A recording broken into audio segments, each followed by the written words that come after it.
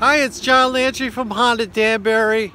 Wanted to send you a quick video. Hope you got the uh, pricing. Um, you know, I want to say I was sorry about Saturday. Um, you know, I I didn't know you guys felt uncomfortable in any way.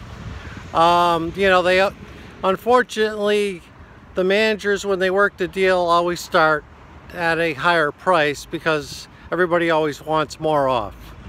Um, I hope you're happy with the numbers that um, I was able to send you.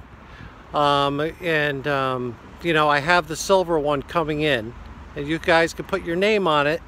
Just uh, give me a call or, or um, and you can leave a deposit over the phone if you'd like. Or you can just stop in and we can do that and you can get the silver one coming in uh, right off the truck. Again, John Landry from Honda Danbury. Thank you.